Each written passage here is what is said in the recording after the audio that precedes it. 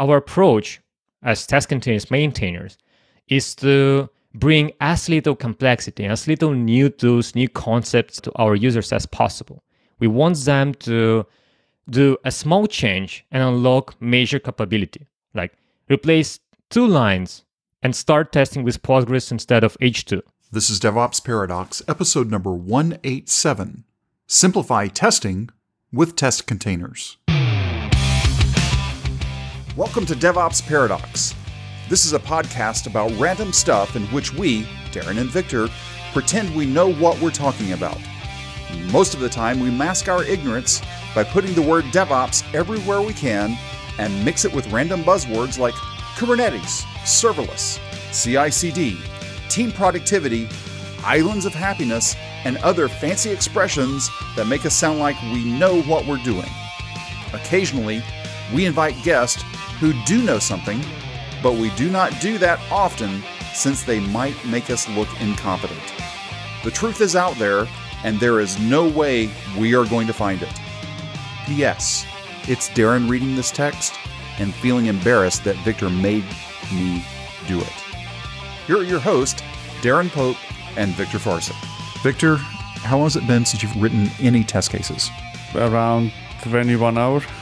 You actually wrote test cases in the last 20 hours? 21 hours? Yeah, I was. I mean, some silly applications, some demo more than anything else, nothing serious. But yeah, I wrote tests for it. And you were writing, te- were they in Go? Yes, they were in Go. And I'm assuming you were writing all those things and they were just running right on your machine bare metal. Uh, right on my machine initially. Initially, Uh, yeah. Initially, there is always initially. Well, what if I said you didn't have to run it on your bare metal? Still local, but not on your bare metal. What should I write in? Spin up a vagrant. If you say that's the thing, we're going to finish this conversation quick. Now, that's usually where I go to, but that's a different conversation for a different day, as you said. Today we have Sergei on from Atomic Jar. Sergei, how you doing? Hey, folks, thanks for having me. I'm doing great. And I love the start of this conversation. It gets me excited. AtomicJar you may not have heard of, but you may have heard of, especially if you're from the Java world, Testcontainers. And AtomicJar has some commercial offerings around that. We'll get to that later. You know, you know the drill. You can never have listen to a podcast and not hear a pitch at some point. But we're going to hold the pitch for a bit.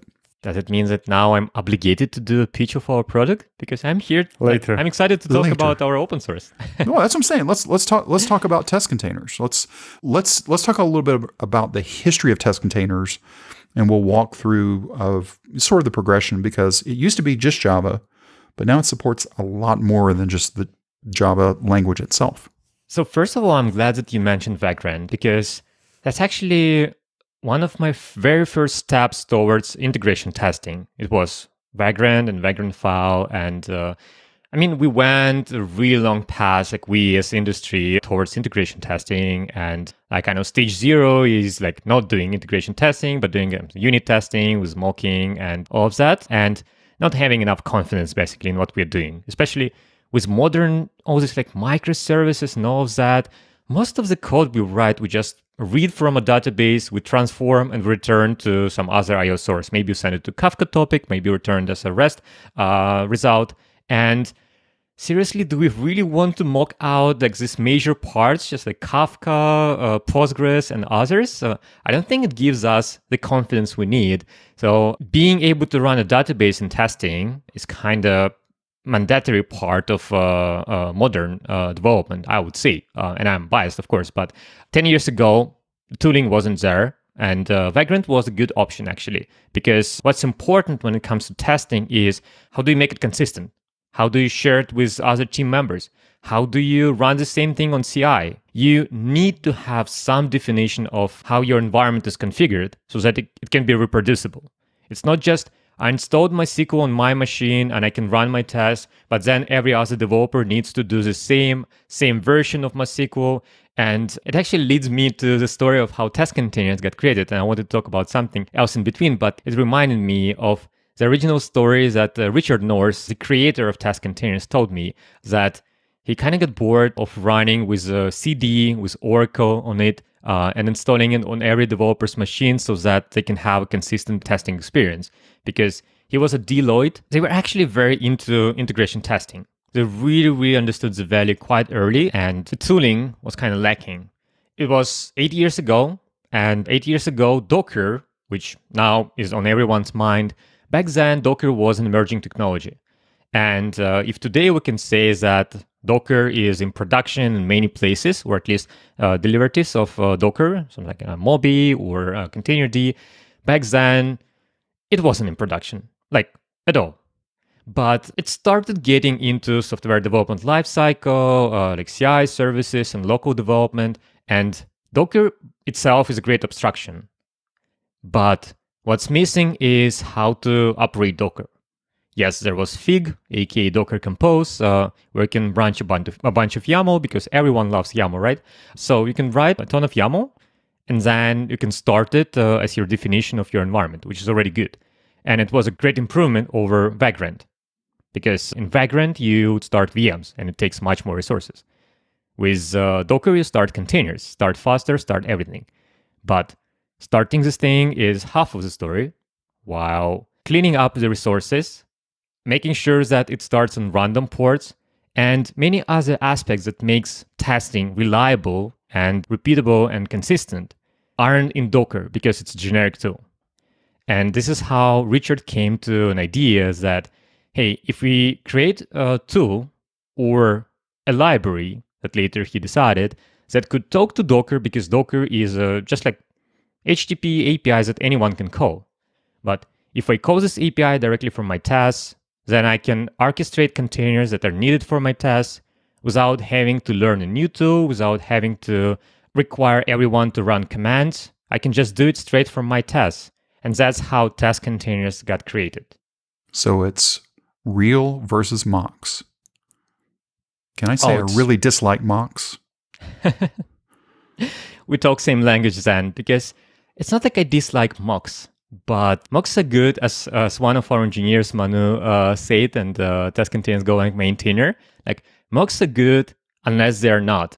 I'm very much of the same opinion. Like, uh, where it makes sense, I would go for mocks. Like, you know, if I can, if I'm writing unit tests for an algorithm, for example, it's, it's totally fine to write a mock, like, uh, where it's applicable. We have mocks in Testcontainers code base when we test Testcontainers because sometimes some things just impossible to integration test. But I do prefer integration testing in the places where I can do integration testing because it gives me much more confidence with much lower cost of adding it to and maintaining it too because maintaining mock based code is a nightmare.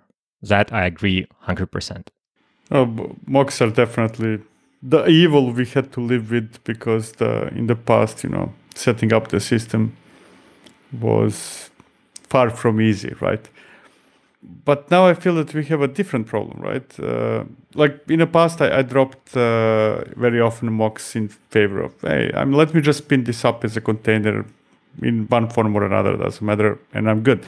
But now with proliferation of microservices, we have a problem of quantity. It's not about spinning up a container. It's about spinning up one container, five containers, 50 containers, you know? You're working on a front end that speaks with the back end, uh, which in turn speaks with two other services, which in turn speaks with three databases. So it's, it's becoming complex for different reasons, right? That's an interesting topic that you touched. What's the scope of integration testing? How can we define the scope for integration tests and where is the line between integration testing and end-to-end testing? Because speeding up the whole system, like uh, either on a firmware environment or a staging environment, is basically end-to-end testing. So like we have a running system and we poke it through, you know, externally available APIs, for example. Since uh, we're here to talk about DevOps, I would like to also point out that, in my opinion, DevOps really triggered the transformation in many areas. Obviously, like how we deploy, how we structure our code, uh, and all that, and also the shift left movement. For me, surprisingly, like I have a feeling that like there was home alone situation because testing was Kevin from Home Alone.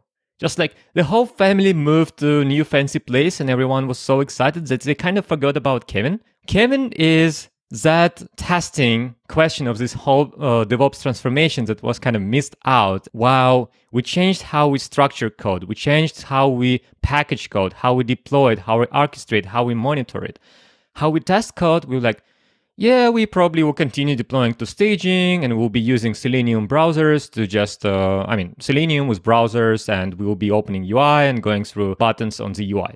My question is, does it really have to be like that? Like, or is it really optimal enough? This is why I'm so excited about integration testing. Like, I'm a huge fan because uh, integration testing is shifting into the left. It's bringing this like missing, you know, like it brings Kevin back to the family, basically. This DevOps happy family who moved on, basically. While previous, like, you know, like 10, 15, 20 years ago, the go-to testing, like when people talk about testing, they're like, mm, yeah, probably it means like environments, browsers, and end-to-end testing. Thanks to DevOps, we can talk about proper developer first testing, where developers would be testing the way they would prefer.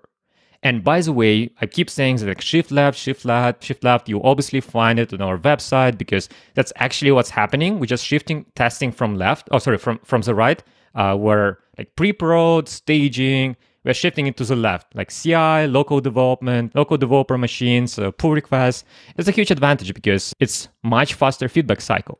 Ironically, I think part of this shift left uh, movement for testing must be represented by shift right movement in tooling. We should not be shifting the tooling from this old era where like staging environment existed and browser testing existed to the left. Instead, we should expand how developers were doing testing. Like if we let developers do testing, let them do testing. If developers know how to write unit tests, for example, like if they write code to test, then we should just expand it to starting real things. Let's replace mocks with real databases. That's already a gigantic step towards much better confidence. If we introduced infrastructure as code, if we introduced, I don't know, like deployment models as code, everything as code, why can't we do testing as code? Why can't we make testing part of just a unit test, let's say, or like integration testing? Just can we do it from unit tests? This is putting me back like 20 years or something when we had those discussions. Am I interpreting right what you're saying uh, by rephrasing it to that there is no space, or at least not much, for non coders, including in testing ranks? I see what you mean. And I should clarify that. I think it doesn't mean that we should make testing as complex as coding in sense that you know like creating like advanced algorithms and all of that. No not not that but kind of that is the testing still i click something with the mouse and see whether the reaction is fine or, or are we talking about testing becoming part of the coding process? Are the tests code today or there's still something in an excel sheet that people go through? Now I understand better. So i do think that First of all, testing should be part of software development lifecycle. It shouldn't be later confirmations that uh, you did everything right. You should just use it to get an instant feedback, similar to how compilation is part of uh, the process. Like we are not committing to CI service to see if it compiles or not. I mean, sometimes we do, but you know, hopefully not. Like we are compiling it in our IDE to get a confidence that we refer to the right variable name to the right class and so on and so forth. So similar thing here. We want to get nearly instant feedback on the change that we applied to our code. And I, as a developer, I wanted to make part of my software development lifecycle story. Like I'm in my IDE and I want to have feedback on the changes I'm making, and I want it to be as instant as possible. I don't want to package my application, deploy it to staging environment, run some UI testing that requires the whole system to run. I would rather limit the scope to just my service. And then, uh, and there is a really awesome article by Martin Fowler, who is pretty famous person out there, especially when it comes to testing. And he talks about the scope of integration testing and what should be considered in the scope of integration testing.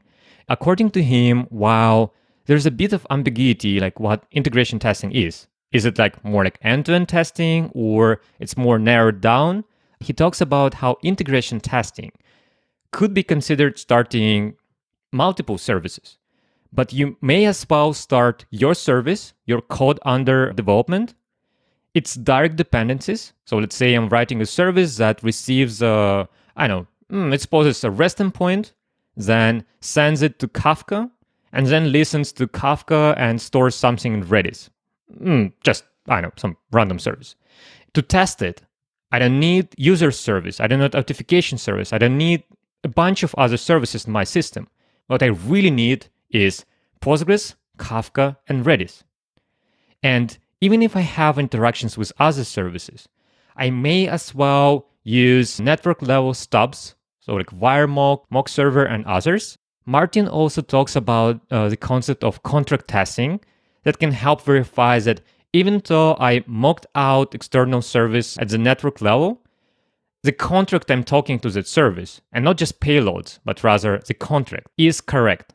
The reason why we need that is because, as you said, it becomes very, very complex.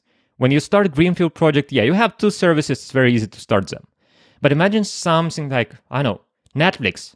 And Netflix are active users of Testcontainers, but I don't think anyone in the world knows how to start Netflix from scratch. There is no such thing as ephemeral Netflix. It's like thousands of microservices, I think, or hundreds or thousands. I don't, I don't know, like maybe millions. It grows every day.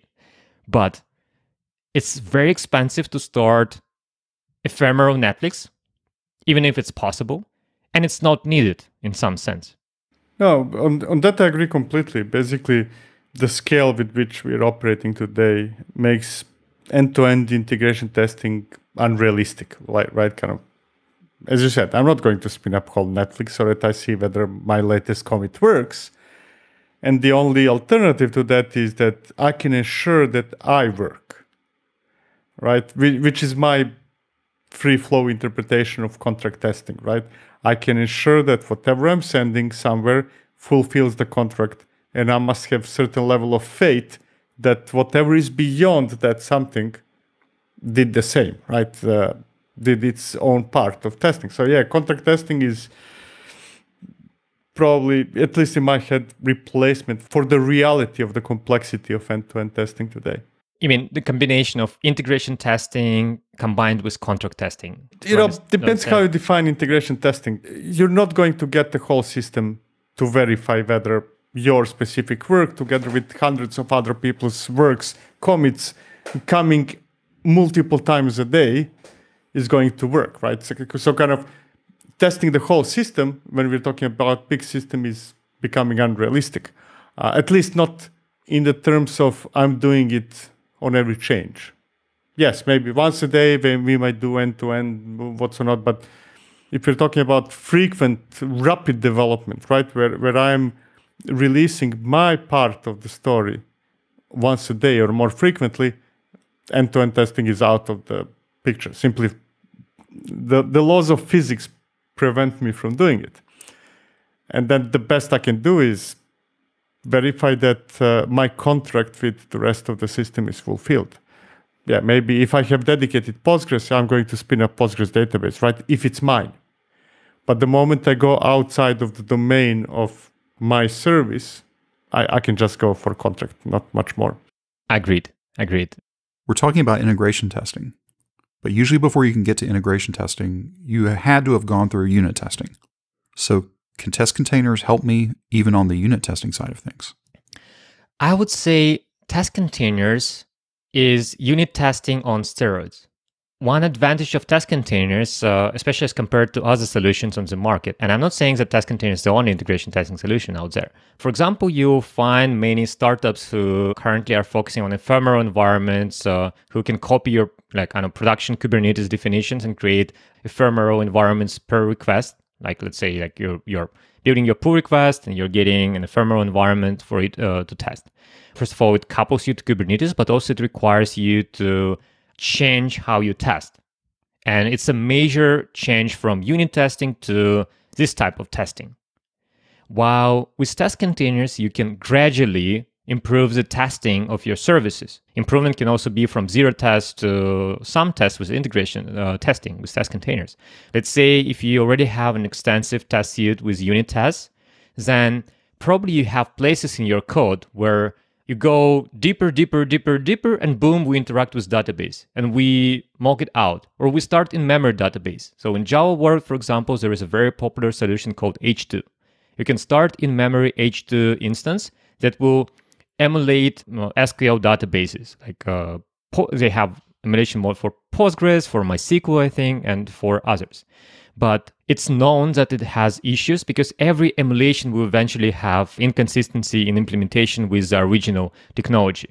It can be like 80% uh, uh, correct, it can be 90% correct, but you never know whether this remaining 10% would make it boom in production or not. Another thing is that you always need to uh, kind of maintain it. Like it's maintain maintenance burden uh, that you have uh, and like you want to use new api from postgres and apparently it's not supported by h2 something like json functions probably are not supported and those are powerful like really really powerful. What Testcontainers allows it allows you to add a dependency to your code. So like similar to how you add dependencies for other libraries you start depending on test containers and you define containers as objects so any even entry level developer can now start Oracle, Kafka, DB2, and a variety of other technologies, all with the same library, just by saying new Kafka container, kafka.start. And then you have Kafka running. And you can also introspect it. You can say kafka.getBootstrap servers, and you have the required information that you need to connect Kafka client to a real Kafka that is running there. Another advantage is that since uh, it uses real Docker containers, like real images of Kafka, the same, and Kafka is just an example, like we support a variety of technologies, and there is also generic support for any Docker Hub image. But let's say Kafka, when you run Kafka in production, let's say with Confluent Kafka operator, you would be using this very same Docker images that you can start locally. You don't need to run Kafka cluster with Kafka operator with uh, la la la to just run the same image. And Testcontainers gives you that instance of Kafka with exactly the same version as in production, but on demand, locally, as ephemeral resource that you start from your tests, from your code. So it feels like unit test, but it runs with real dependencies. So what you're telling me is if I'm running, I don't remember versions for Kafka, but mm-hmm. if I'm running Kafka 1.2.3 mm-hmm. in production, I can configure my code when it runs the unit test or whatever test doesn't matter mm-hmm. to also run Kafka 1.2.3. Exactly. And you can even fine tune it with production parameters. Like how often does it write to file system or retention period uh, and other parameters. Like every production parameter that's available there, you can also change it because you run exactly the same code thanks to containers.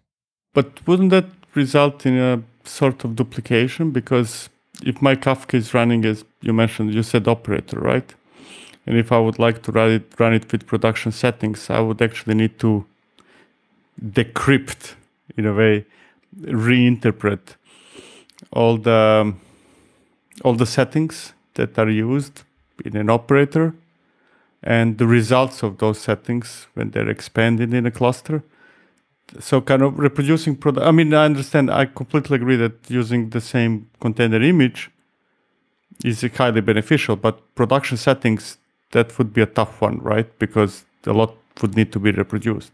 For majority of people even understanding what operator does behind the scenes just that part is extremely difficult the question here is whether you need to replicate all the settings or only those that are relevant for your application. I cannot really, out of my head, uh, imagine settings that you would really need to copy from production for Kafka.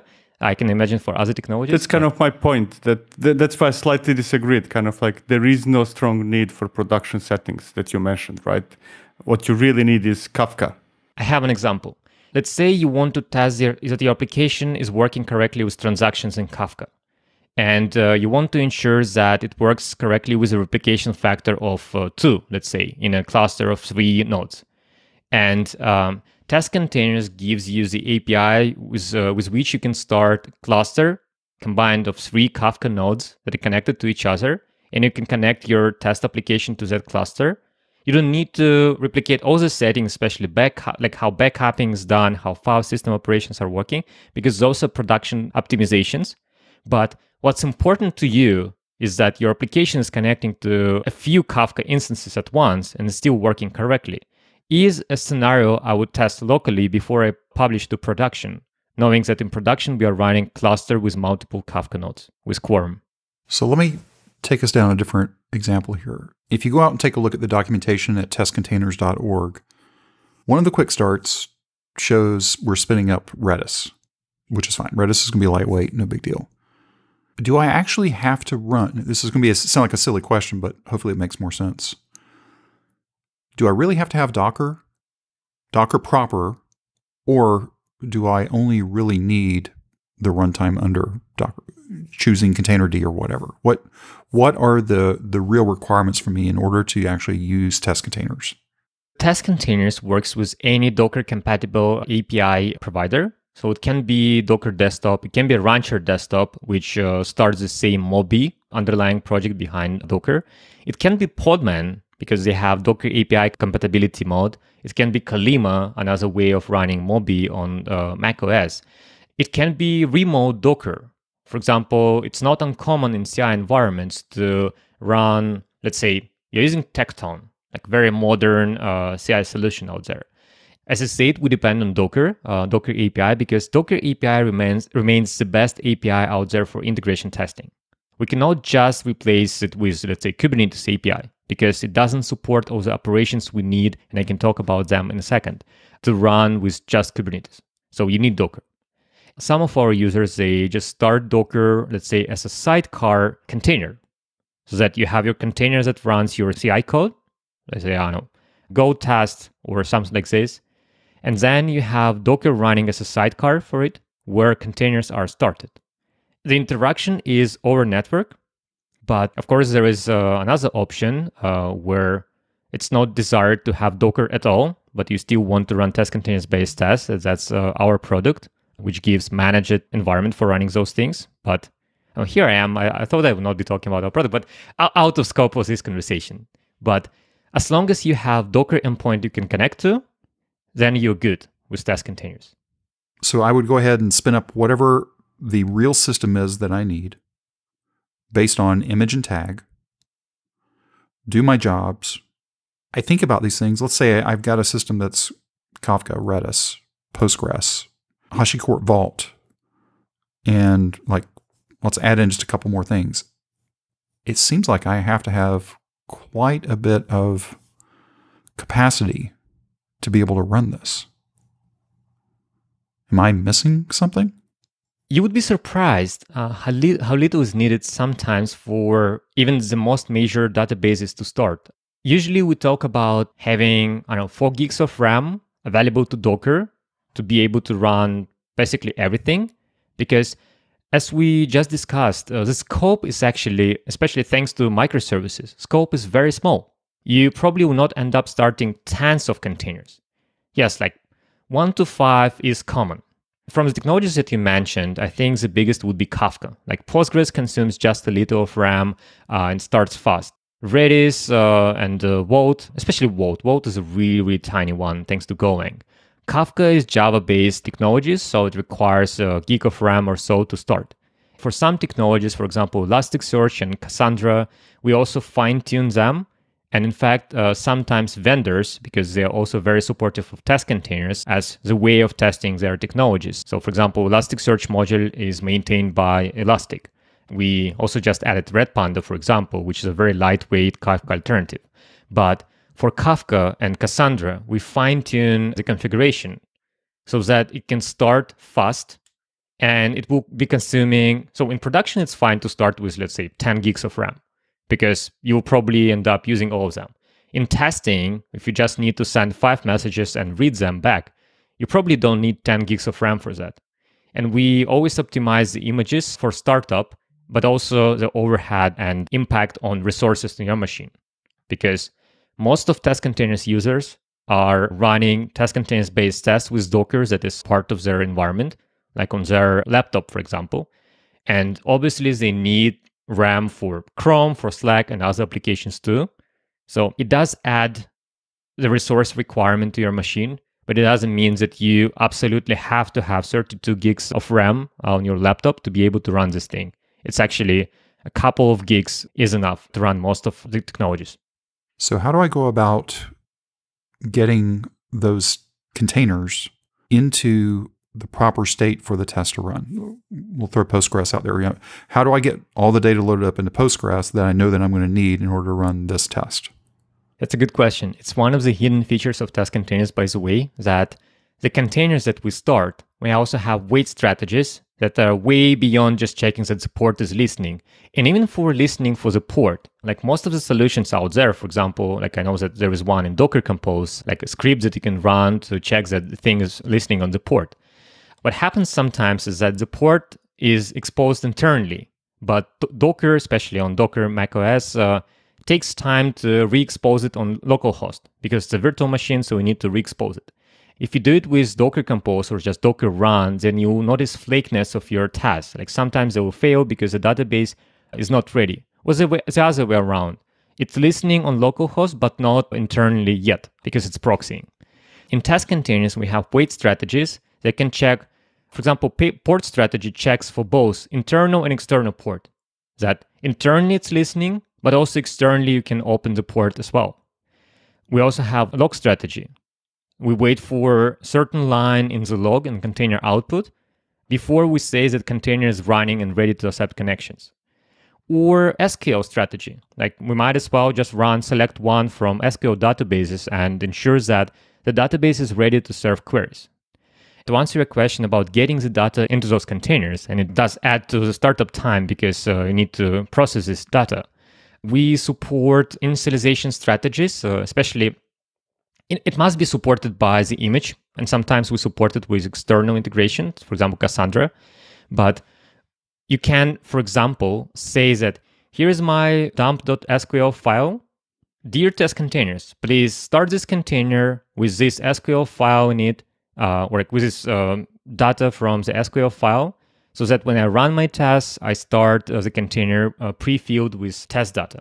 You can also use uh, your favorite database migration tool for doing that. And it's actually preferred way just because you have more control and you get it closer to how you do it in production. So, for example, schema initialization, you should just point your migration tool, let's say Flyway, or in other languages, there are also migration tools, but it's just better. But uh, there is also built in support for initializing the initial state uh, of the database where it's supported but it's widely supported in SQL databases and other non-SQL database or NoSQL databases offer these too. For example, Cassandra. It sounds like what we would want to do really is use Flyway or Liquibase or one of those other types of tools to help load that up versus baking specific images with data sets already in them. Because, I mean, I guess that's still an, an okay option as well, but it's just extra overhead for whoever has to maintain them. Precisely, I would say. It is a good optimization where it makes sense. And for some databases, it takes a long time to initialize, for example, Oracle. It makes sense to pre-bake your image. I'm also a big fan of tests that generate their test data from the test. So you're not relying on the state in the database, but rather you can read your test and you can understand the state a test will be testing. I also know very well the approach where you start maybe with obfuscated dump of your production database uh, and then you run tests against them. There is also a new tool that's about to be released, or maybe by the time this podcast is released, it will be released by Synthesized, who created a tool and they integrate with Testcontainers uh, for that to generate, to synthesize test data based on schema. Very powerful because then you can only have schema and uh, create a bunch of test information inside the database. I would say my go to solution, my personal go to solution would be to use the tools I already have. Let's say if I have Flyway, I'll just continue using Flyway. And our approach as Testcontainers maintainers is to bring as little complexity, as little new tools, new concepts to our users as possible. We want them to do a small change and unlock major capability, like replace two lines and start testing with Postgres instead of H2.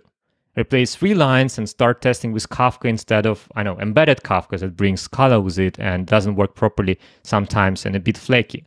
So that's our approach. But if you want to, you can always do those optimizations, for example, pre-bake test data into the database. That is also supported by Testcontainers API. So we've been talking about a lot of different Java things, but Testcontainers also supports not just Java, the language, but pretty much any language based on the JVM. At least that's Is that still true?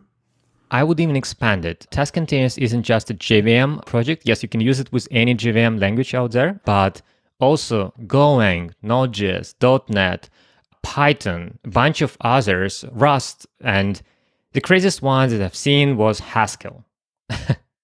but uh, some of them are community maintained. Some are also maintained by us, AtomicJar, the company behind Testcontainers. Currently, we have in-house maintenance of Testcontainers Java, Golang, and .NET. So, what was it like maintaining Golang for this? Because I imagine when this first started out, because who was the guy that started it? What was his name? Richard? So the whole thing was started by Richard North. Yes. So, when Richard started this, it was probably just Java, correct? So, what made you want to bring this, especially as a company in AtomicJar, to the other languages? I think it's important to say that Testcontainers is almost eight years old, and AtomicJar is two years old, or officially one and a half years old, meaning that Testcontainers existed for so long before we started the company that like you cannot even say that some of these or like none of these projects, uh, like none of these language uh, implementations were created when AtomicJar started, but they existed before. The story of Testcontainers Golang is, interest, is an interesting one. There was a developer who really enjoyed using Testcontainers Java, and was six years ago or five years ago. And then he changed job. He joined InfluxData, and uh, at InfluxData, the company behind InfluxDB, they are obviously a Golang uh, shop, and everything they're doing, they're doing it in Golang. And uh, he wanted to have the same experience as he had with Testcontainers Java, but in Golang. So he went ahead and created Testcontainers Golang. The idea was that to follow the same idea, let's just talk to Docker directly from TAS and spin up resources from TAS without leaving the IDE so that the developers don't need to you know, like learn new tool basically, but they just code their test setup. And then Testcontainers Golang was uh, the first non-Java uh, version of Testcontainers, but then all these other versions started appearing because developers were really picking up the idea of integration testing straight from your IDE. And it's a very powerful, very simple yet powerful concept. So this is how we ended up with all these versions of Testcontainers. And we've mentioned the company name, AtomicJar. Why did you decide to create AtomicJar? So the story of AtomicJar is, and my story with Testcontainers started uh, almost seven years ago, just half a year ago into Testcontainers existence when I was at ZeroTurnaround DevTools company from Estonia, the company behind famous JRebel that uh, most of Java developers weren't that happy because every second forum would be, yes, you're right. By the way, check JRebel. So for those who recognize that, sorry, but I wasn't part of the JRebel team. But we were at ZeroTurnaround and we had sort of our own internal test containers. Same idea. Let's just talk to Docker API from tests and start containers so that we can test our Java agents uh, with a variety of databases and application servers. I discovered Testcontainers on GitHub by just looking at one of uh, like you know on GitHub you look at the issue and you see cross references from other repos. Very powerful feature, by the way. That's how you build open source communities just by seeing those references actually. But uh, I know it's a reference from Testcontainers. I was like, okay, like Docker testing containers. I should definitely check that one. I fell in love, so I joined the project, started contributing uh, like open source junkie. I always do that if I discover that there is some open source thing I can contribute to. Later, Richard invited me to be a maintainer, and uh, later we also got Kevin, our third maintainer of Testcontainers Java, and our employee number one at AtomicJar but we never worked on Testcontainers as our main job. It was always uh, like side gigs that we were running two years ago. And in seven days, uh, and today's is, uh, all right, just like uh, in seven days from today will be exactly two years since I announced that I'm leaving VMware, uh, the company where I worked before funding AtomicJar. I ended up at VMware after they acquired Pivotal, the company uh, where I where I used to work as part of the Spring team. As acquisition happened, VMware was a bit too big for me because I'm more of a like, small startups guy. And I announced that, okay, I'm leaving VMware. I have no idea where I'm going, but I want to do something cool. And obviously, like Testcontainers is one of the things I want to work on. I thought that I would end up at like one of these like software vendors, so like Red Hat, Microsoft, Google, and others. I mean, Google is not software, but you get what I mean.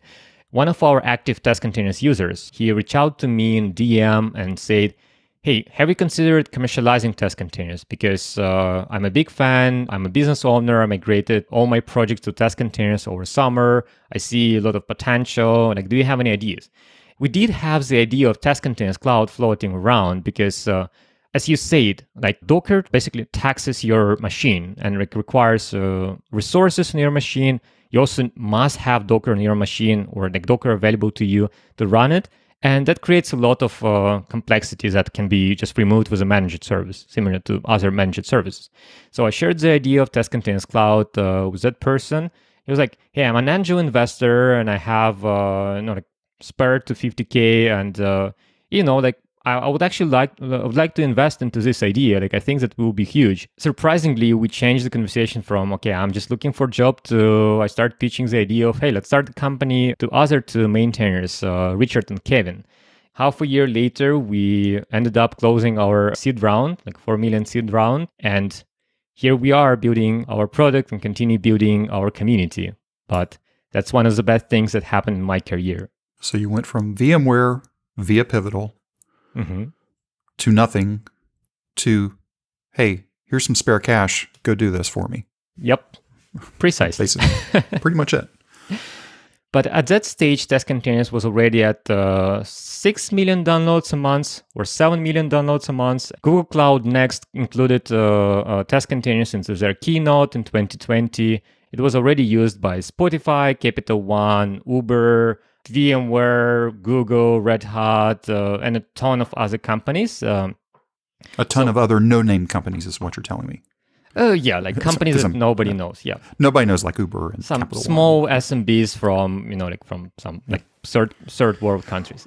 I was I was sort of joking. uh, You know, big companies here and little companies. Everybody's using it. Six million downloads a month. That is uh, measurable. Is how we say that. that is not that is not Taco Bell downloads. That's Chipotle downloads. Right. That's that's big. So as we're wrapping up here, Mm-hmm. you have the uh, AtomicJar Cloud. What, what what is the proper name for it? Is Test it Test Containers Containers Cloud? Okay, Testcontainers Cloud. And right now, it is currently in private beta, I believe. That's correct. Is that correct? Yes. Do you have a rough GA time on that So uh, without giving dates away? of course, of course. But we're currently working on uh, GAing it, and we're running private beta for a year. In November, it will be a year, and we collected a lot of feedback and a lot of inbound demand for it. But we wanted to make it right before we release it for everyone, before we remove the gate uh, and like sign up list and all of that. We want to release it by January, or maybe on podcast, I should say by Q1, just to not uh, to overpromise. But I'm also excited about getting this thing released because uh, I believe, based on what I see, it will make so many developers out there just happy because they can, you know, like struggle less with them running their tests. That's a great motivation because I'm a developer, uh, so I, I feel the pain firsthand to just get the product in my hands. And if you want to sign up for that private beta, you can go to testcontainers.cloud. And again, with this episode coming out on November 30th, it will probably still be in private beta, but you never know. So you should always check. So, Sergei, thanks for joining us today. All of your contact information is going to be down in the show notes, but if people wanted to get in contact with you, what's the best way to do that? So what I want to say is that since you mentioned that it will still be private beta, but if you're listening it and if you're signing up for Testcontainers Cloud, just add a comment that you're coming from DevOps Paradox, and I'll make sure that you're not spending in the queue for too long. I'll try to expedite it as much as I can. Let's bring a little bit of exclusivity here. Not something we ever done before, but I think that's a good idea. When it comes to contacting me, uh, some people are active on LinkedIn, some people are acting in other places like Facebook. I'm really Twitter addictive. Like, you know, like Twitter is my social network. So the easiest way to find me is to go to Twitter and find me, but it, it goes by bsideup. But you can also find me, of course, uh, on LinkedIn uh, and a bunch of other places. If we talk about old school communication styles, then you can, of course, find me on email and is uh, sergey at atomicjar.com. Pretty easy to uh, remember too. And last but not least, we have a very very active community uh, of other test addicts so we can jump uh, you can join our slack for example and you'll find this information from testcontainers.org website there is a slack invitation and of course uh, we have github discussions and other places to communicate with the community uh, directly. So find me in the Testcontainers community. Sergei, thanks for being with us today. Thank you so much, Darin. Thank you so much, Viktor. Really great show. Pleasure to be here. We hope this episode was helpful to you. If you want to discuss it or ask a question, please reach out to us. Our contact information and a link to the Slack workspace are at devopsparadox.com slash contact. If you subscribe through Apple Podcast, be sure to leave us a review there. That helps other people discover this podcast. Go sign up right now at devopsparadox.com to receive an email whenever we drop the latest episode. Thank you for listening to DevOps Paradox.